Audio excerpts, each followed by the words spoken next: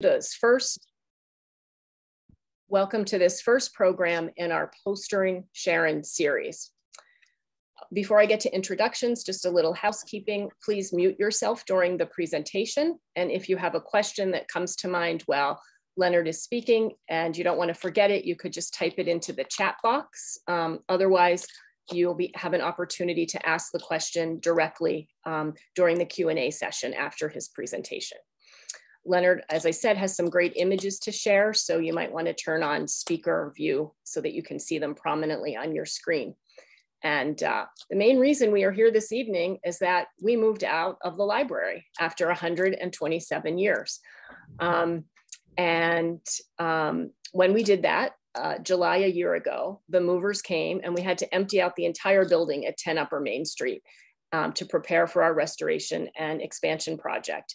And we had a very large oak table upstairs in the Connecticut room. So if you're familiar with the library, you go up the big stairs in the front the, and you get to the landing, the building on the left, the building on the northwest side upstairs with the beautiful windows, um, lots of light coming in. There's a big old oak table up there where we would have board meetings and other committee meetings and people would use it during the day for reading and studying. Well, the poor movers, they had to figure out how to get that table out of the library. And for some reason, they decided they were not going to carry it down the front staircase. I don't know why, I didn't ask them. Um, and But we have a mezzanine with a gallery um, above the main area of the library downstairs. And they decided the best thing to do would be to lower this giant table over the railing to some guys who were standing down below. They had two guys standing on our old circulation desk, which was close to the railing. And then they had a couple more guys on the floor. I didn't actually see this. I came in a little bit after, but apparently there were two guys on the floor, um, you know, standing on the floor, and these big guys up above started to lower the table down to the guys on the desk who were going to hand it to the guys on the floor. And this giant drawer slid open and some papers came out. And um, nobody had known they were in there. There were no handles on the drawers. It didn't look like the table had drawers. And in it, they found, when we later counted, there were 101 posters of all different sizes. Some of them were folded, some were flat and opened up, some were curled up on the edges, some had tape on them, you know, left and browned and brittle. Others had tears, some had little pieces missing out of them. There were all kinds of things. Um, some of them had the address of the library stamped on the back that were folded up. They'd obviously really never been opened up or used um, you could see which ones had been used and which ones had never seen the light of day. There was, um, uh, you know, there were a wide variety of things. There was a Connecticut state proclamation from 1919 announcing a statewide day of prayer and fasting. There was um, a really fabulous locally printed poster printed in Millerton that announced the festivities on the town green in Sharon um, on July 4th, 1918, just a few months before Armistice Day. There were US government printed posters from both world wars. And of course, of interest tonight, there were 10 posters that had been saved from Children's Book Week from the 50s into the early 1960s. We realized right away that we had an amazing treasure and we applied for and received an ARPA humanities grant, which was funded um, through ARPA money that went to the American Library Association and the National Endowment for the Humanities. They made this money available to 200 libraries um, earlier this year for programs that promoted humanities in libraries. So we've used that money to preserve, restore, and share the collection. And I wanna thank those organizations for making this program possible tonight. We've begun digitizing the posters and we have used grant funds to professionally restore um, eight of the most significant examples in the collection. And those eight pieces have been framed and I'm happy to announce that they'll be exhibited at the gallery uh, at the Sharon Historical Society from October 16th to December 22nd. Give you a chance to see them before they are moved back to their permanent home in our beautifully restored library sometime, um, hopefully fairly early next year. I'm so pleased to have Leonard Marcus with us tonight. Leonard is one of the world's preeminent authorities on children's books and the people who create them. As his website states, he is an historian, an author, a critic, and a curator. He curated the landmark exhibit, The ABC of It, Why Children's Book Matter, Books Matter at the New York Public Library, which was viewed in 2013 and 2014 by a record setting 540,000 visitors. Maybe some of you had the chance to see that amazing exhibit. He is the author or editor of about 25 books, and he has attended our annual book signing, I think twice, maybe at least, yeah. um, to present those books and sign some of those books. So we're so happy to welcome you here tonight, Leonard, so that we can learn more about the history of Children's Book Week and our wonderful posters. Okay. Well, thank you, Gretchen and Caitlin, for organizing this event. Um, and I, it's such a great story. Um, you know, I usually think of you know libraries as places where everything is cat everything is cataloged and put in its place, and to find out that there's a hidden treasure in a library seems almost magical to me. Um, Children's Book Week was the world's first um, celebration of um, literacy in children um, ever, and it started um, in 1919, uh, which you'll realize is the year just after the end of World War One and the creation of Book Week was linked to the end of the war in a way that I'm going to explain in a minute. Um, the other thing about these posters, since it's a series that has now run for over 100 years, is that they represent a, um, a cross section, almost like rings in an old tree, um, telling you about the history of graphic art in America and um, a lot about what was happening in society um, from one decade to another. And in the images I'm going to show you now, um, all of those sort of themes and um, discoveries that can be made from looking at the posters carefully um, will be um, illustrated. So now I'm just going to uh, share my screen and I'll be able to show you these things.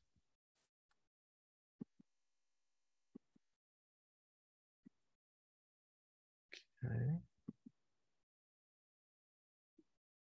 Uh -huh.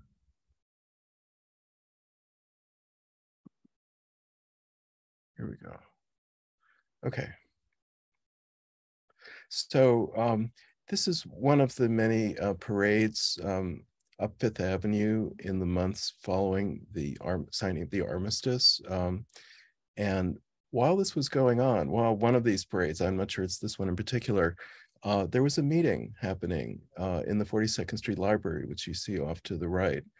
And a few people from publishing and the library world were getting together to hatch the plan uh, that became Children's Book Week. Now, um, the war, of course, was a really terrible event, uh, violent um, use of um, scientific method for killing on an unprecedented scale. And um, it led a lot of people to think about um, the children of society and what they could do to prevent um, something like that from ever happening again. Of course, it was called the World War to End All Wars. And one way that that um, sentiment was put into action was in um, big leaps forward in the way children's books were published and made available um, throughout the United States. Um, this poster, which you have uh, an example of at the library, this is one of the 101 posters that was um, discovered in that drawer, um, comes from this exact moment when people were starting to look beyond the war and to realize that it was time to have a children's year, a time to devote a lot of effort to making the lives of the next generation better. Um, and by then, Andrew Carnegie had um, been building um, public libraries across America for, for quite a few years. Um, he, he constructed a total of over 1,600 libraries, not just in big cities, but also in relatively small uh, towns. Um, and he started in the 1880s and finished uh, in 1929. Um, and one of the features of most, if not all of these libraries was that um, they had a dedicated children's reading room.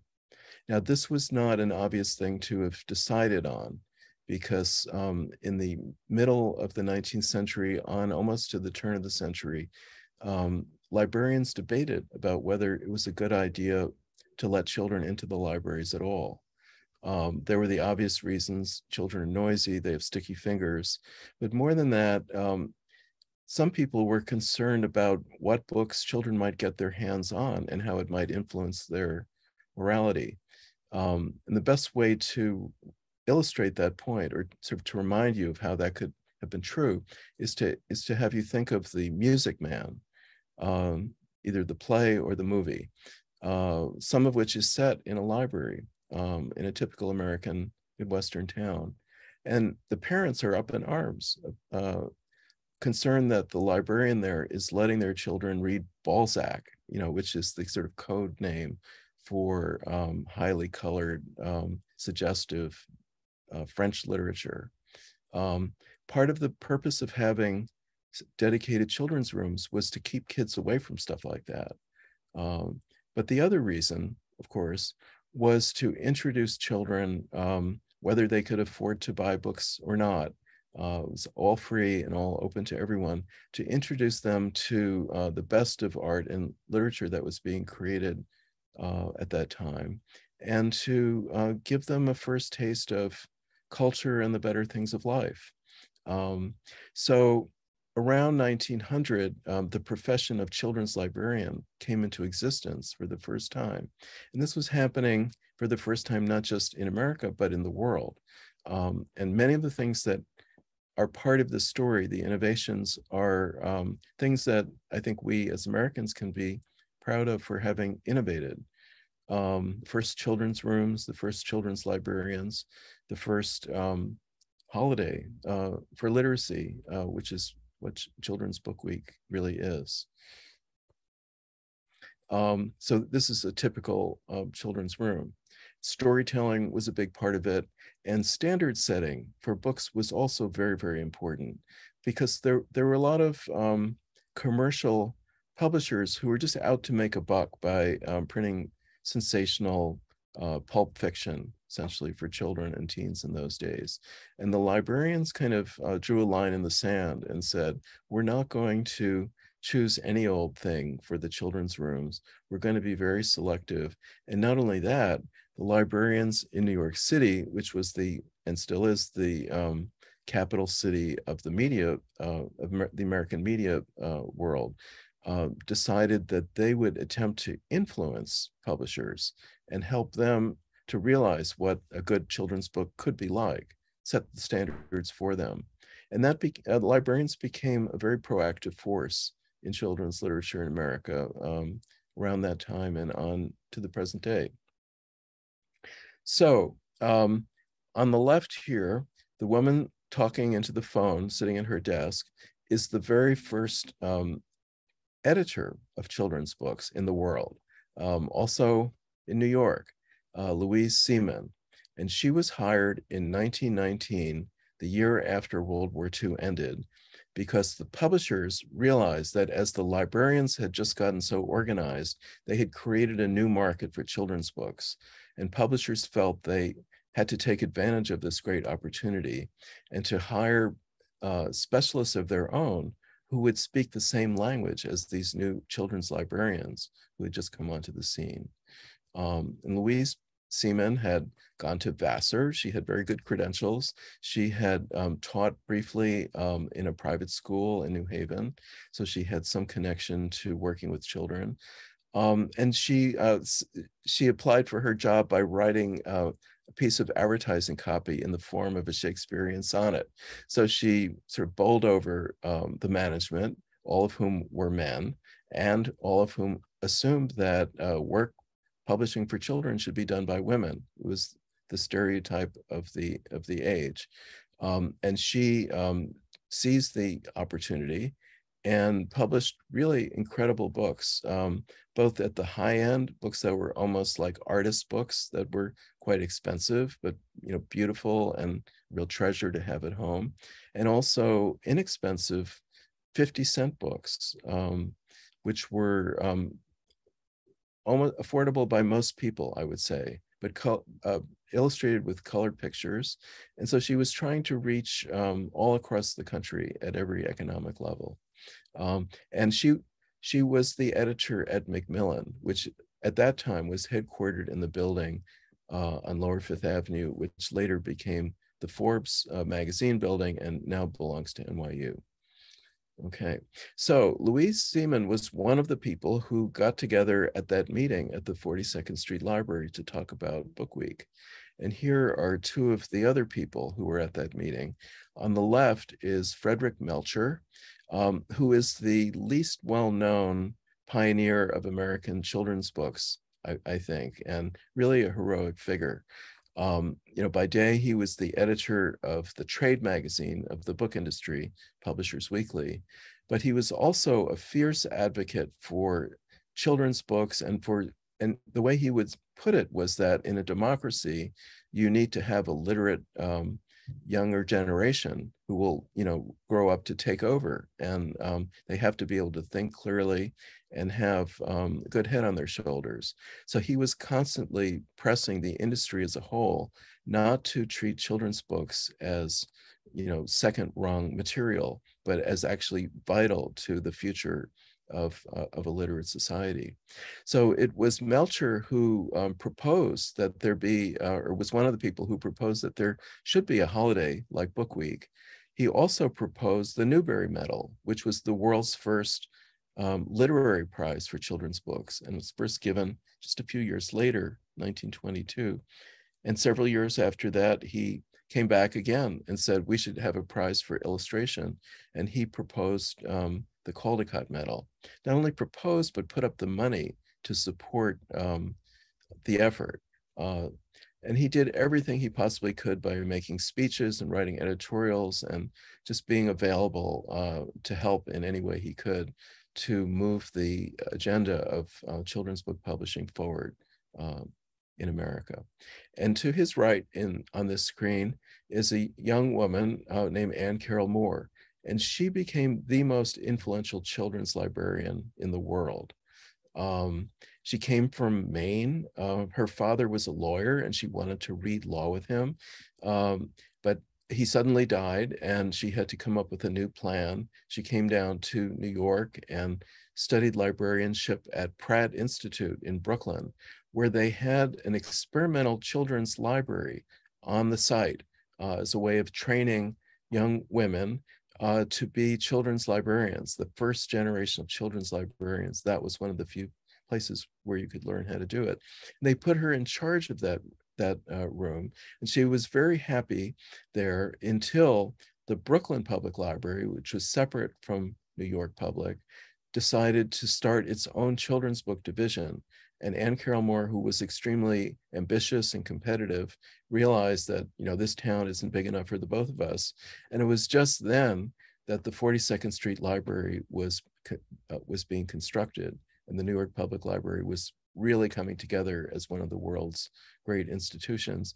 They recruited her. Uh, she crossed the river um, and remained at New York Public for many, many years. Um, she was not happy just to be there. She was publishing lists, annual lists of best books that went out to the entire country. Um, she became very involved in the awards committees. Um, she was setting standards for um, librarianship as a profession that had first national and then international um, ramifications. So she had her thumb in every pie.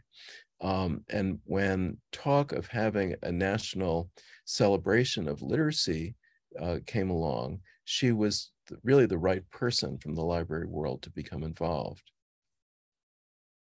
Uh, the last person, uh, and actually he was the one who originated the idea to be at that meeting and to create Book Week in that small group was this man, Franklin Mathiews, who was the official librarian of the Boy Scouts of America. And the Boy Scouts were founded in 1910. So they were really a pretty new organization. And they were reaching a large um, audience and were concerned about um, children's morality, their education. This was a time when only less than 20% of American children uh, made it past eighth grade. Um, so education and the future that a young person without much of an education was likely to have was a really urgent issue in the minds of all these people. So getting uh, families at home to to uh, have books for their kids to read and just to you know to read to them at night and just encourage them to to pay attention to um, all the opportunities that books could open up to them. It was not just a, uh, a nice thing to be doing, it was seen as life changing for millions of, of young people across the country. Um, so here are a few of the first Book Week posters. The idea of Book Week was to get communities involved. When Carnegie gave his money for those libraries, he, there was there was a hook, there was an, a stipulation, and it was that he would only give a town or a city a library if people there would guarantee that they would put up the money to buy books to fill the library and to staff the library. So he wanted a, a, a grassroots commitment uh, before he would go ahead. And Book Week was also meant to be that kind of um, connection to the community. Um, all across the country, um, librarians and teachers received information about projects they could do. Um, clergymen were encouraged to make sermons during that week about literacy. Um, garden clubs, you know, every organization you could think of, the Elks Club, they were all supposed to get involved and um, talk about books, um, you know, bring books home for their children and generally set a tone where um, reading to uh, reading children's books and reading with children was part of um, the everyday life of, that community. So the posters uh, were one of the ways to let everyone know that this was happening. And the poster on the left um, was the very first Book Week poster. It was used for more than one year, which is why it says 1920, not 1919 at the top. The artist they chose to make this poster was well chosen. Uh, it was a woman um, named Jessie Willcox Smith. The reason she was a good um, choice was that she did all the covers for Good Housekeeping magazine. She'd been doing that year after year after year. And that meant that um, all the middle class mothers, which was the core audience for a lot of this effort, um, who read that magazine religiously, would recognize um, her artwork and they would see her as a trusted um, advisor uh, when she came along with a poster urging them to have books at home for their children. Um, poster on the right, which came along a few years later, was by N.C. Wyeth. And he, by then, was one of the most famous illustrators in the world in the um, decade before motion pictures.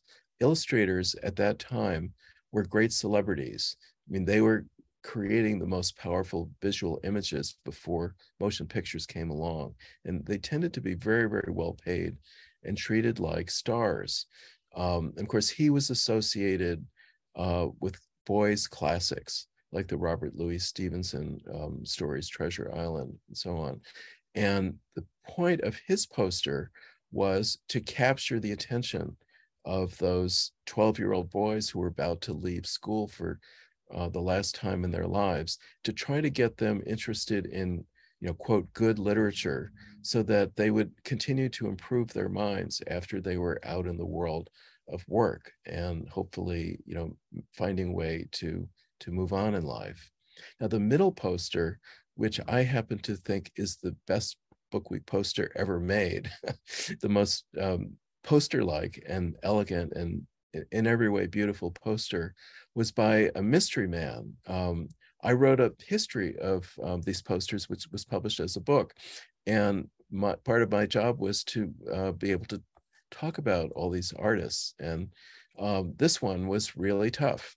Um, it turned out um, that while posters were becoming very, very popular, both in America and in Europe at the turn of the century, as more and more people moved to cities. So there were there were lots of crowds where people uh, could would gather and became great focal points for poster that had a message of one kind or another, whether it was political or a sales pitch or whatever.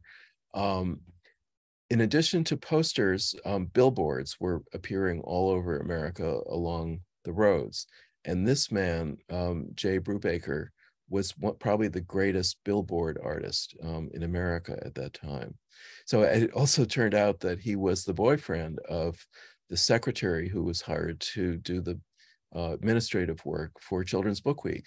So he had a kind of in, though he was also a great choice. And that's uh, how that poster came to be.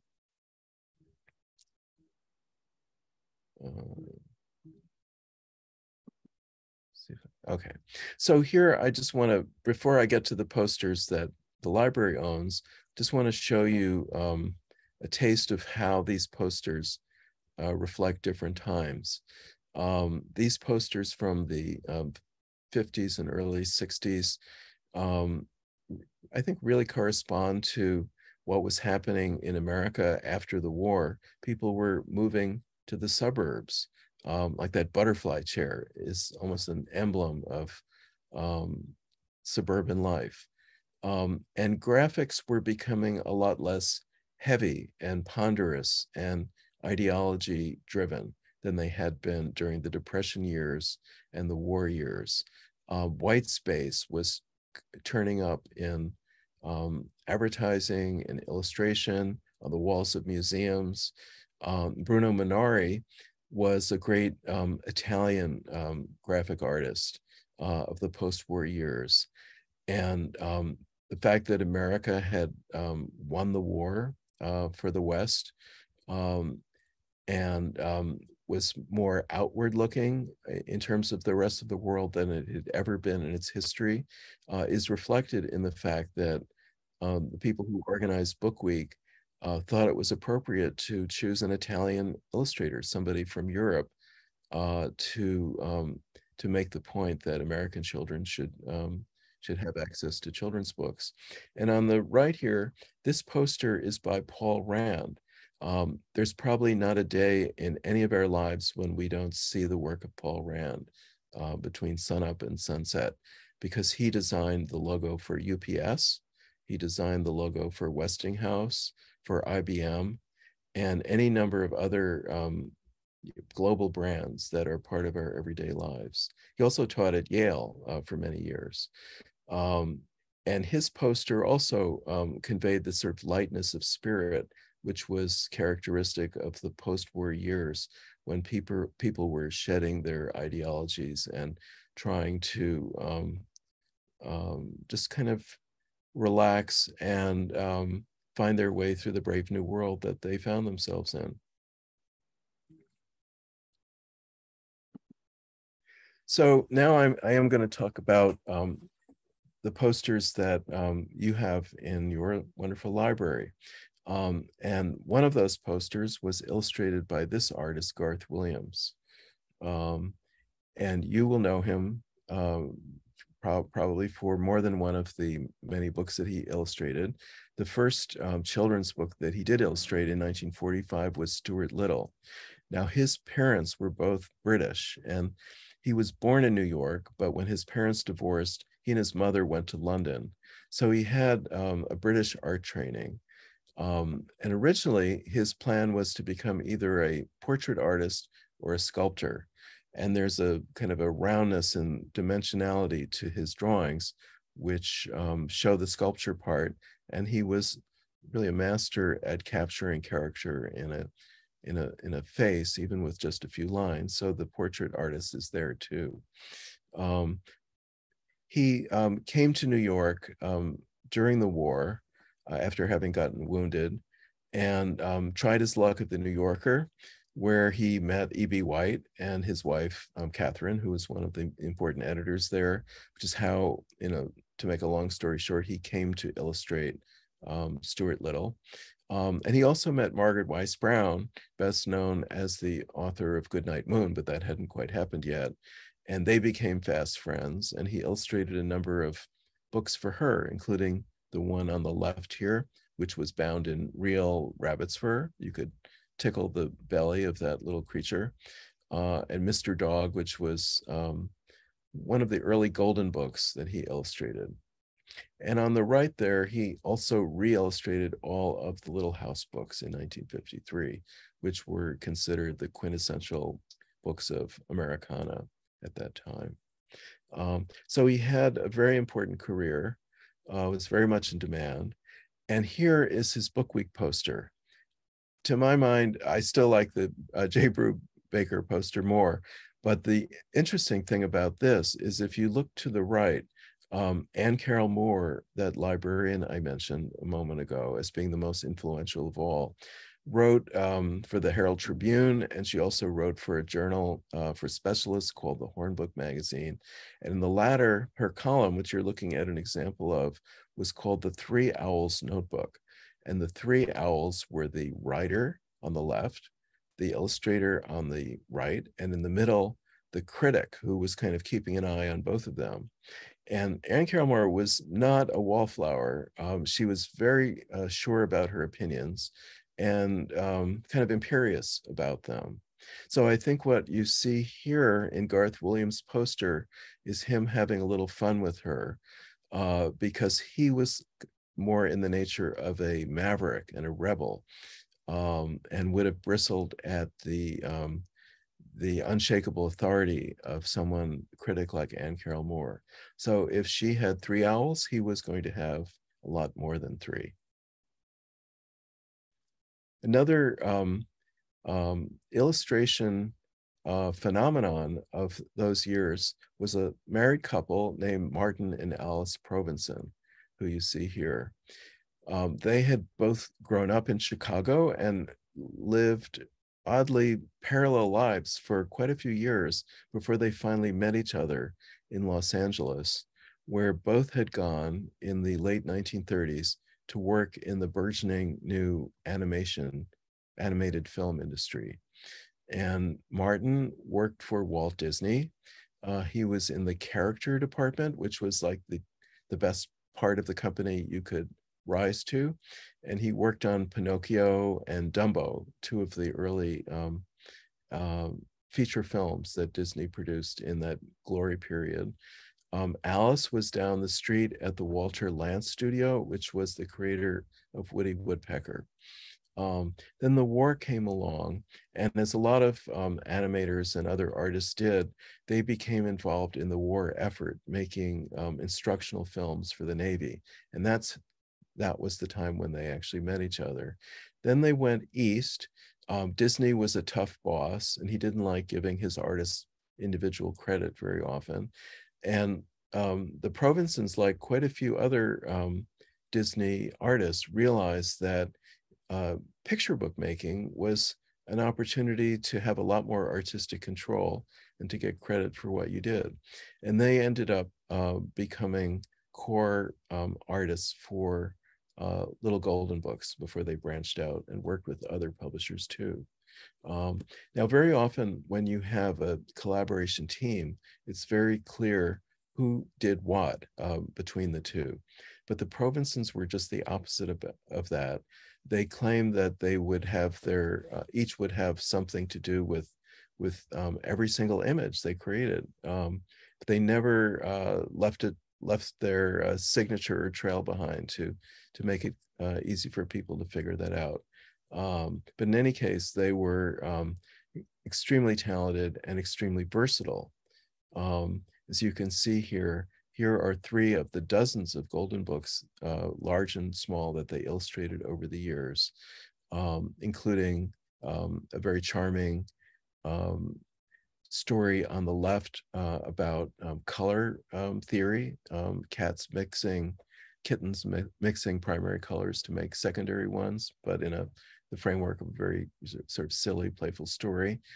A retelling on the epic scale of the Iliad and the Odyssey. You're just you're seeing the French edition here, but it's published um, in the U.S. as well as in Europe and on the right, um, their collection of Aesop's fables.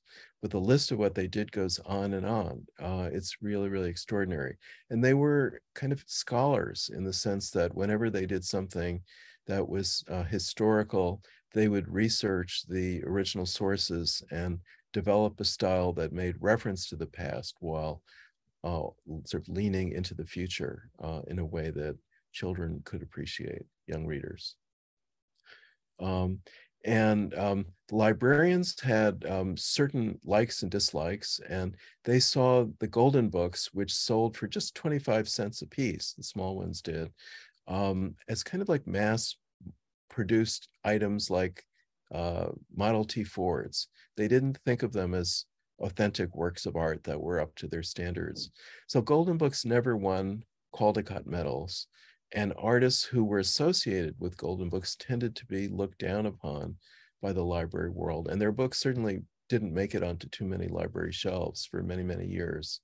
But the Provensens migrated to other more mainstream publishing houses in the later part of their career. Here you're seeing two books that, that they did for the one on the left for Harcourt Brace, the one on the right for Viking.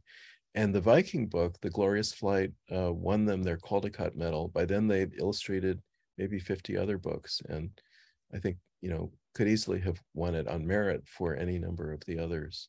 But anyway, it was nice that they finally got their due recognition from the uh, the official officialdom of children's literature. And here, maybe with a reference um, to the story of the, the maze and the Minotaur, the labyrinth, um, is um, their book week poster. Um, always um, clear and charming and um, with some kind of, there's always a kind of graphic distinction to what they did. Um, so like there's such a harmony to that image. Um, and this is Marcia Brown, and she um, pulled a hat trick, uh, meaning that she won the Caldecott Medal three times in her career, which is astounding when you think how many people there are making picture books. Uh, and only one person has managed to match that uh, record, and that's someone who's still very much with us, David Wiesner. Um, Marcia Brown um, was a librarian, so she kind of had an inside track since it's the librarians who give out those awards. And um, she worked at the New York Public Library for many years, um, organizing some of the musical programming and storytelling um, hours. Um, and she um, belonged to a period when librarians were deeply interested in world folklore and they saw stories that we sometimes call fairy tales or folk tales as um, as a kind of legacy of childhood. They like to talk about timeless tales and um, to say that you know no child should grow up without being exposed to these stories so there was a big trend toward um, making picture books of uh, traditional stories from around the world and often illustrating them in a style that felt related to the part of the world that the story had originated in. And this was one of her, maybe the um, specialty that she became known for as a picture book artist, um, along with the more general um, uh, fact of uh, her versatility, her um, her delight in reinventing herself uh, for every book that she did. Uh, there was nothing predictable about a Marcia Brown book. So these three books are the ones for which she won the Caldecott Medal over the years.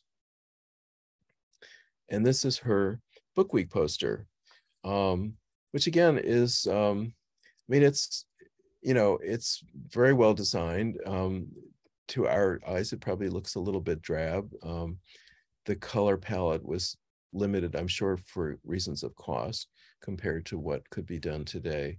Um, and yet, um, it has a kind of modern feeling. That transparent book um, is like the white space that we saw in Bruno Munari's um, uh, Italian poster from around the same time.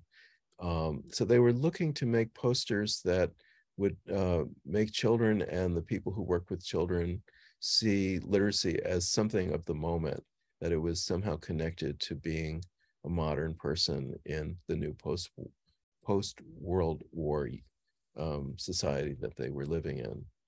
Um, this artist, um, Lynd Ward, um, was the son of a minister uh, in Chicago, and he grew up with um, a, a, strong um, idealistic streak and uh, determination to make art that would somehow change society for the better. Um, he was also uh, very experimental in his approach to bookmaking. And before he ever thought to make children's books, um, he produced a number of wordless um, graphic novels. Um, starting in the uh, in 1930, he was not the first artist ever to do that, but probably the first one was a Belgian artist from the 19 teens called Frans Masereel. Um, and Lynd Ward was, in a sense, his um, greatest fan. Um, I don't know how popular these books were, but they certainly became influential. And in recent years, the Library of America um, issued a collection of Lynd Ward's wordless novels with an an um, introduction by um, Art Spiegelman. Um, you could characterize his work as expressionist. You know, it's not trying to look like a photograph, it's trying to make you have a kind of spiritual awareness of, of the visible world. You're sort of seeing that world and then something beyond it at the same time. Um, and then later in his life, and this is true for a number of artists um, uh, with ideals, they come around later in their career to making children's books because it finally dawns on them that children represent the future. You know, so why not um, make books for that audience since they're the ones who are still young enough to change and are you know not set in their ways and are poised to um, to grow up and uh, enter into positions of authority. Um, so here are three of the children's books that Lynd Ward illustrated. The one on the left is certainly a well-known classic. It's the story of that little lighthouse at the foot of the George Washington Bridge that you can still go see in Washington Heights in um, Upper Manhattan. Um, and eh, you know, stepping back a little bit from the um, from the literal story of that book, it's a reflection on um, mid 20th century industrial America, where everything was becoming gigantic and overwhelming skyscrapers, um, ocean liners. And um, where would a child fit into a world like that? So there are a number of um, stories, picture book stories from that time. Little Toot about a tugboat is another one. Mike Mulligan and his steam shovel is another one, where a small machine or structure uh, has to go sort of toe to toe with something much bigger than itself. Um, and in each of these stories, the little one is found to have a useful purpose to serve and a place in the world. So these were, I think, uh, deeply reassuring stories for children in what was really a brave new world of um, technological um, giganticism. Um, and um, Hildegard Hoyt Swift, the author, was married to the dean of the New School, which was very much a politically left of center progressive place. So there was a kind of um, message intended by this book, uh, delivered in a gentle and witty way. Um, the middle book is quite unusual. It was published in 47 and it's a collection of stories about heroic African Americans, both well-known people like George Washington Carver and unknown people just who did something that had been forgotten by history. Um, and to see a black face on the cover of a children's book in the 1940s was almost unprecedented. There were very, very few examples.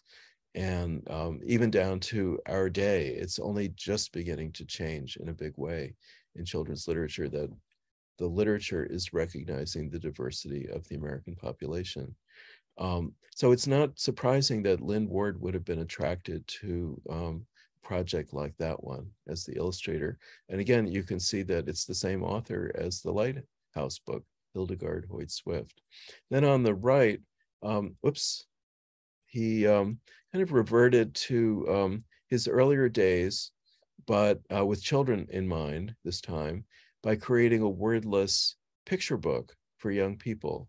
Um, and it's a it's a kind of a dream fantasy, but it ends with a surprise that leaves the reader with a very pleasant suggestion that maybe life can uh, live up to our dreams um, in in in ways that are imaginable. Uh, and here is his very um, emphatic um, um, Book Week poster.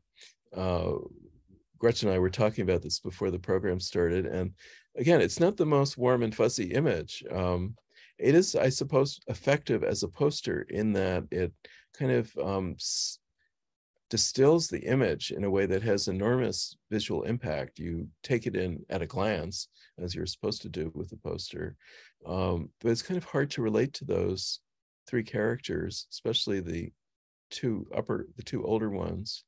Um, and it feel to me it feels like it belongs to an earlier era, which is the period of the 30s um, and on into the 40s when posters relating to the Depression and World War II um, were, you know, delivering um, tough, urgent messages about how to survive and, um, you know, keep a st stiff upper lip, things like that.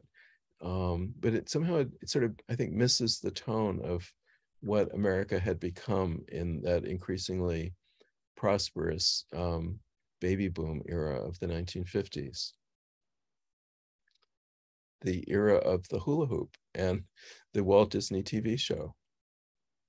Um, another artist uh, who made a Book Week poster during the 50s is Leonard Weisgard, uh, who um, grew up in New Haven and spent a fair amount of his adult life in, um, in Connecticut. Um, he was um, a, a, wonderkind. Um, he enrolled in he was first he was going to be a dancer and he studied with martha graham then he had a, an accident and damaged one of his legs so that was out and he turned to visual art.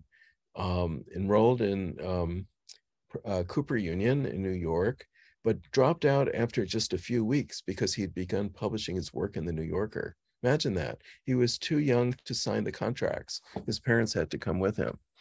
Um, and here we see him on the left making the image, which you do, can see in full on the right, which was a greeting card for the benefit of UNICEF uh, during the 1950s. He was incredibly prolific. He illustrated about 180 books.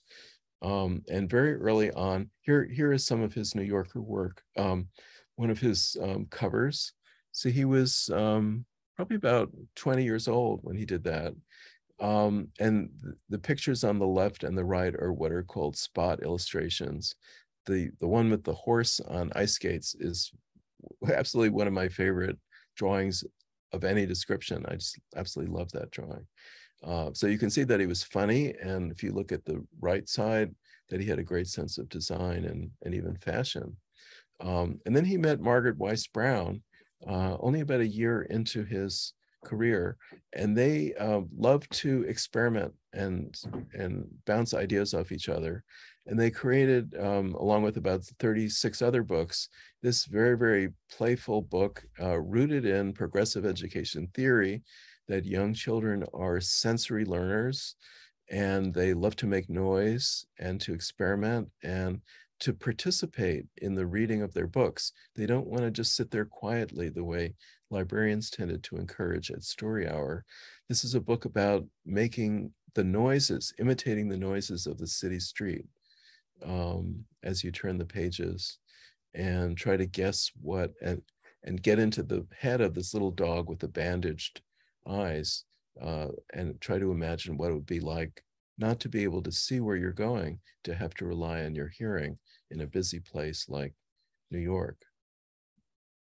Um, on the left there is the cottage called the Only House uh, on Vinalhaven, Maine, an island, where Margaret Wise Brown liked to hang out during the summer. And she would invite some of her illustrator friends up to work on books there together, including Leonard Weisgard. Um, her writing studio was in the window just under the roof um, that you can barely see in the photograph. And the view out the window is what you see in the photograph on the right. There was this little island which came to fascinate her and to become a sort of symbol of um, an individual um, holding its own in a big and complicated post-war world.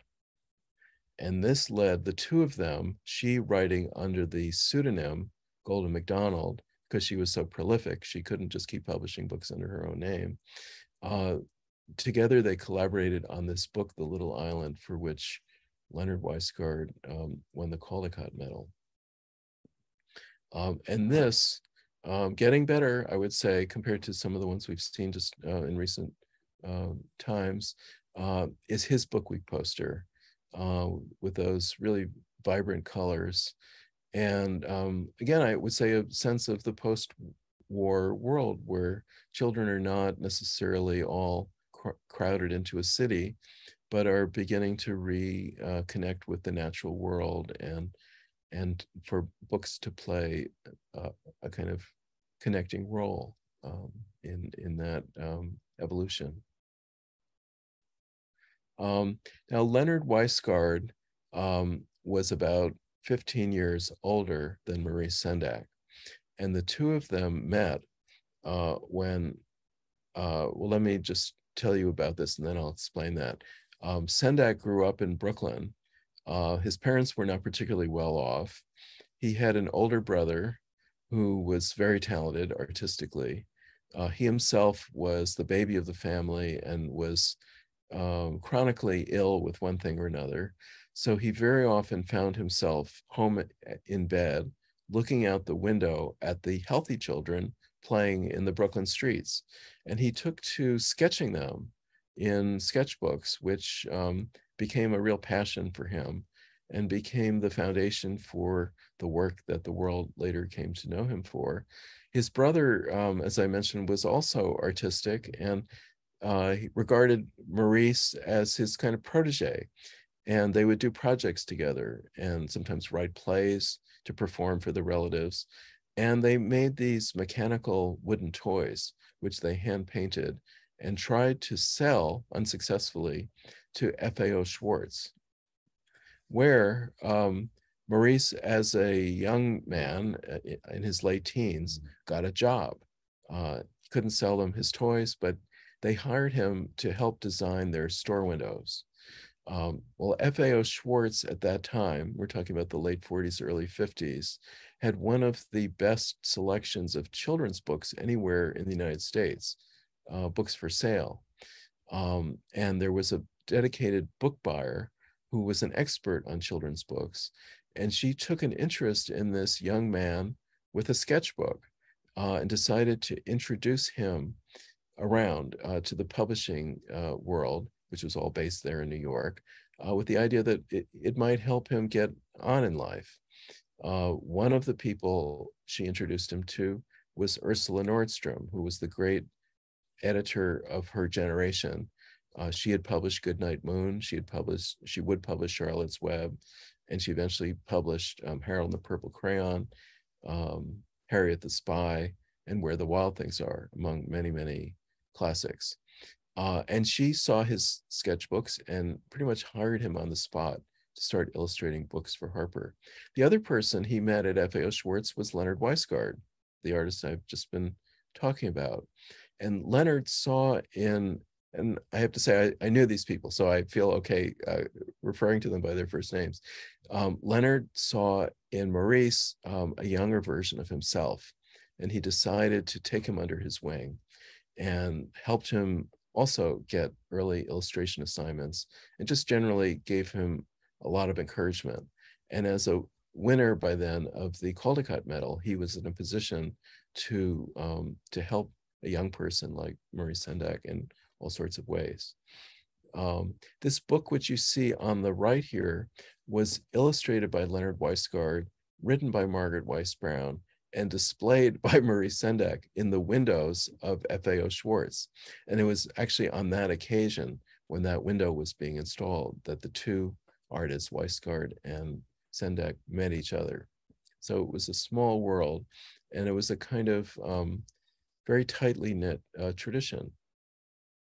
And had Margaret Wise Brown not died unexpectedly of a blood clot at the age of 42, there's no doubt that she would have collaborated with Maurice Sendak on picture books. And just imagine what that might have been like.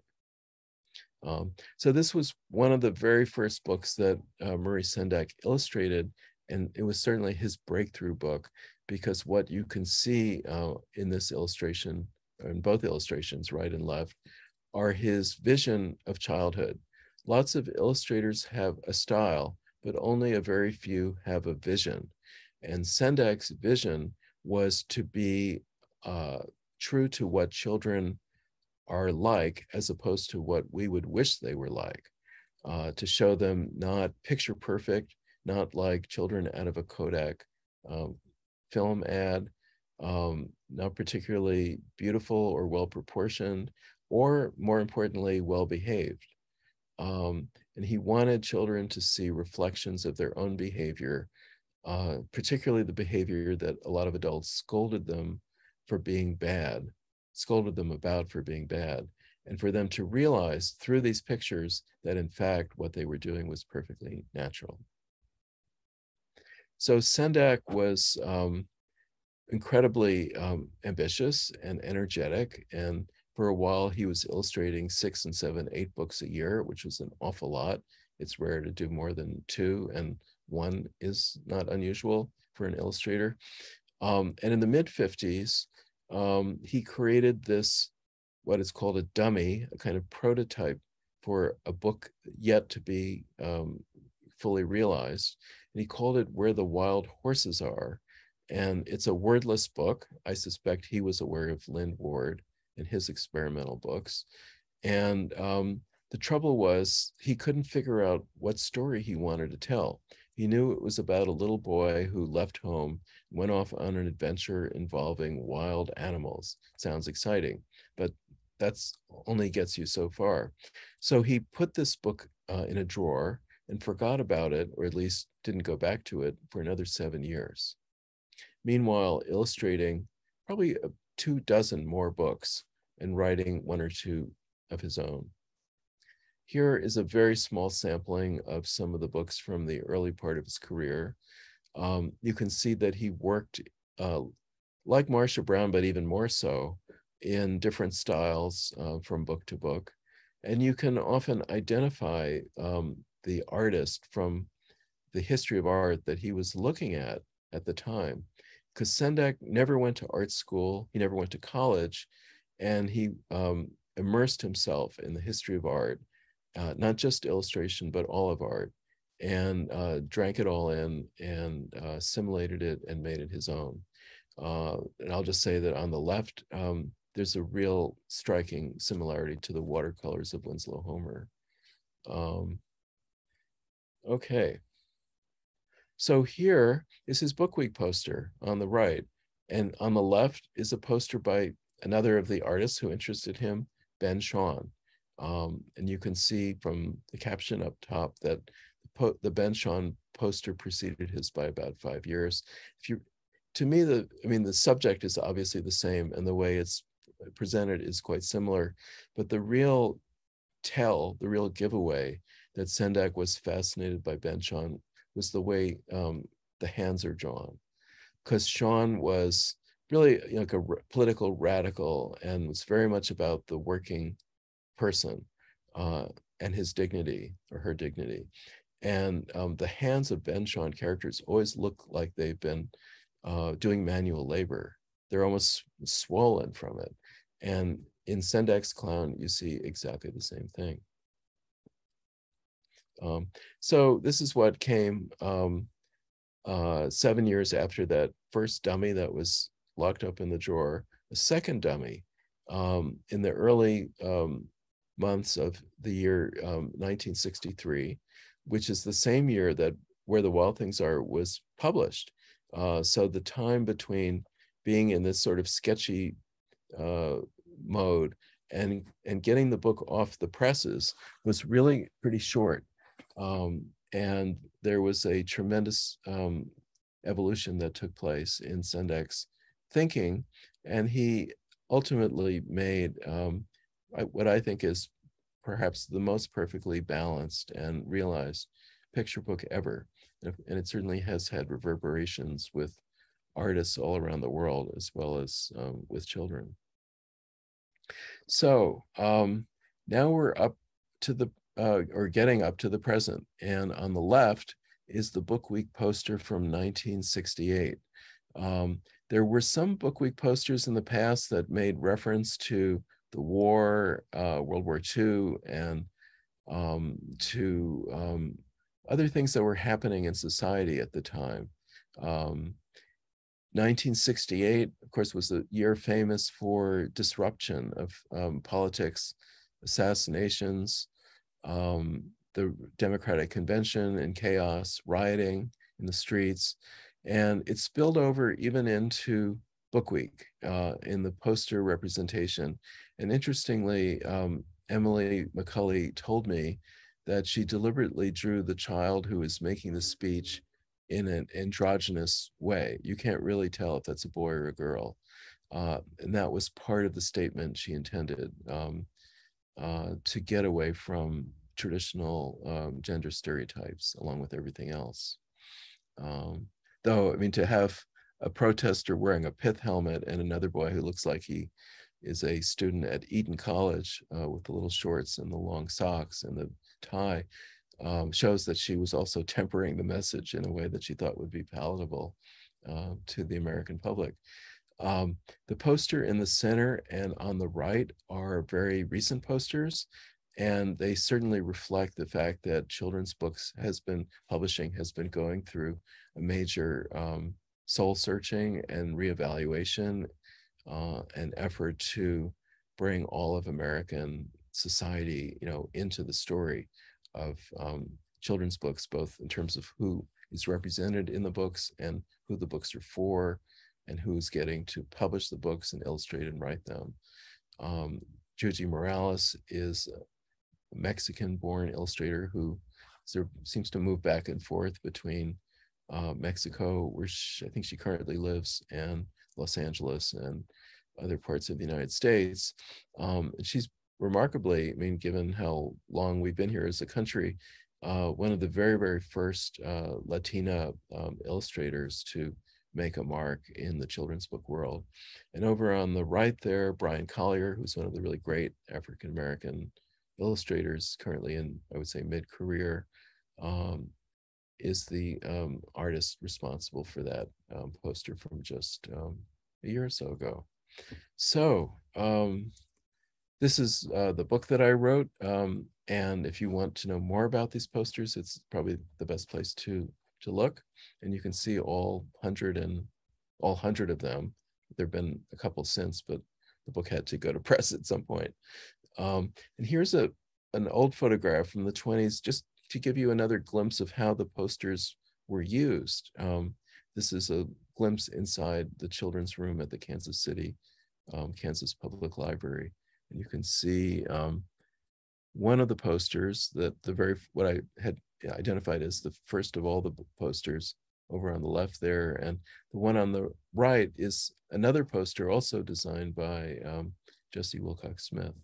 And I think it's so amusing that they have these two children uh, flanking uh, the table with enormous books. I mean, it, the photographer must have had a sense of humor. They look almost too heavy to be held.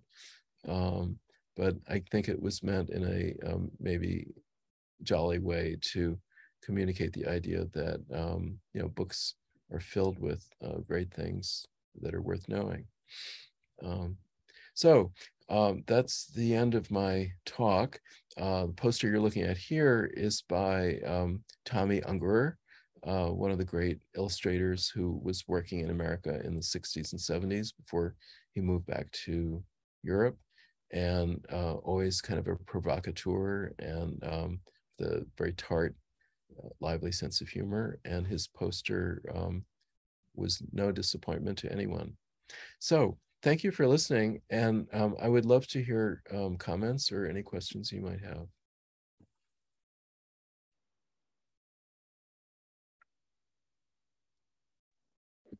Does anybody have any questions? I'm wondering, Leonard, how the posters were distributed. Um, were they mailed to libraries unsolicited, or could you request them? And did they go to anybody else, um, like bookstores or? Ah, yeah, no, that's a good question. Um, the, originally, you know, Frederick Melcher, who I mentioned as being the man sort of in the background of a lot of the innovations um, for children's book um, publicity and recognition, um, organized a small office. He may have even lent um, the Book Week people his um, publishers a, a, portion of Publishers Weekly office at first. So there was secretarial help, and uh, they put out brochures. They let um, librarians and schools and community organizations all across the country uh, what was available to them. Um, uh, Gretchen and I were talking earlier about a kind of um, instructional guide um, that that your library has a copy of, which is full of um, you know um, helpful hints about how to celebrate um, book week in your community. So there were materials like that. And there were also sales materials, you know, and you could order a certain number of posters for sure a nominal amount of money. Um, some years they also printed bookmarks. They printed up miniature versions of the posters that were the size of commemorative post postage stamps. So you could buy those and stick them on your letters if you wanted to. Um, the Boy Scouts, of course, were into craft projects, and they came up with things like um, how to build a book a bookcase, you know, like a very simple wooden bookcase, so that when you got the the books that your parents were going to buy you for book week you'd have some place to store them in your bedroom and you could have the sort of boy scout satisfaction of having built the thing yourself and maybe even get a merit badge out of it. Um, so um, so there were um, i think they were just trying to maybe raise enough money to support some of these efforts it was never a business um, and after um, world war ii um, as you know, the population in America probably doubled between the 1920s and the 1940s. And um, certainly the population of children was surging because of the baby boom. It's becoming a much bigger um, thing. And children's book publishing was becoming a much bigger thing. Um, when Robert McCloskey, you know, Make Way for Ducklings, won the Caldecott Medal in the early 1940s, he had to ask his editor when he got the news what what that medal was like he'd never heard of it.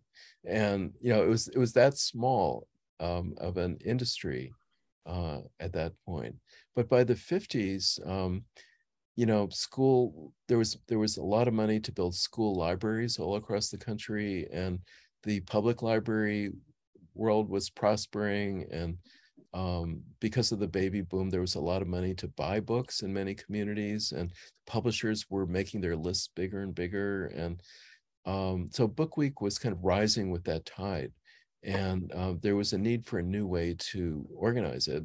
So um, uh, the publishers all got together and formed something called the Children's Book Council, which still exists. And mm-hmm. you know, they all paid dues and created this little office, which was meant to be a clearinghouse of information for everything to do with children's books. And if you were a young person out of college, you wanted to get a job at a, as a children's book editor, you would go to the Children's Book Council and they would tell you what jobs were available. Um, and they took it upon themselves to um, to sell the posters and eventually to choose the artists who made the posters and just to take over the whole thing. Um, yeah, so that's what I know about that. um, yeah. Gretchen, yeah. Uh, I, uh, first of all, you, are making me really nostalgic for some of the early work I did in teaching third graders. And every Friday we'd have a reading party, and you know they uh, bring these books forward. I was just kind of there are days when I wish I wish I were back there again, uh, more, more, uncomplicated and wonderful time. And I, I bring greetings to you from Linda Beach, a friend of mine who worked at Scholastic for many years and, and knew you. She couldn't be with us tonight, oh. but she extends her greetings. And my question to you is how, uh, how is it you found your way into this line of work? What, uh, what were the turning points that brought you and your career to this point? Huh. Well, um, it wasn't um, so much to do with being a child as it was um, being a history major in college. Um, I mean, I was actually a remedial reader as a young child, and um, I struggled to, to learn how to read, even though I was, I knew a lot of words and I was, I could speak well, but I just couldn't get the um, the mystery of, uh, I guess they call it decoding the word on the page at first. Um, so my reading teacher um, urged me to uh, write uh, little poems that I could read to her at our next session. Because I had written them myself, I had no trouble reading those. So reading and writing sort of came together for me as two sides of the same coin. Um, and eventually, um, I found, I, as you know, everybody, many people gravitate toward one kind of book or another.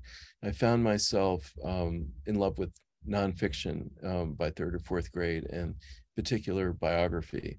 So I ended up uh, being a history major um, at Yale and I needed to write a senior thesis paper and um, had taken courses that had to do with um, American history and um, began to think about how you start a new nation.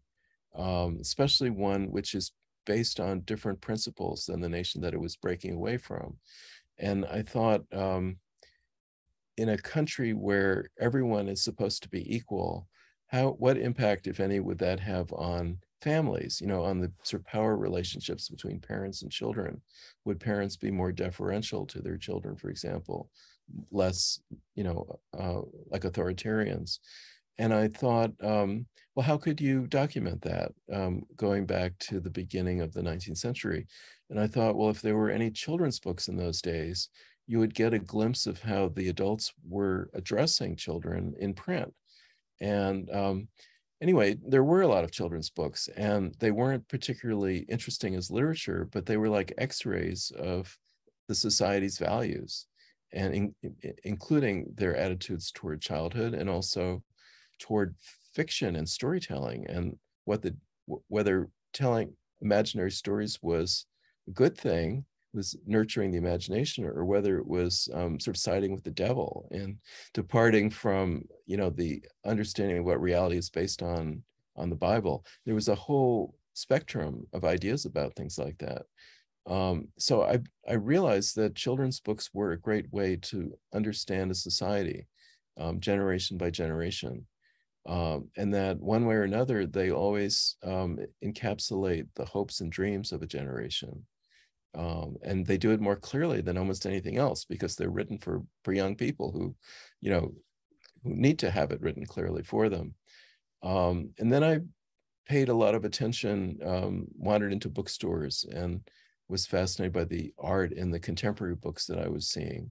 And then i um, asked myself the question why isn't that kind of art ever shown in art museums like the metropolitan museum of art which i you know love to visit and that's when I realized that um, there was a pecking order in the art world. It wasn't all, you know, wide open um, embrace of everything. Uh, some things were considered more artistic than others. And children's book art was at the bottom of the barrel. Um, and that in turn led me to think about how our society thinks about childhood. So all these questions were coming up just by from looking at children's books. And um, and also, I mean, I could see that there were a lot of really astonishing illustrators and writers in our time.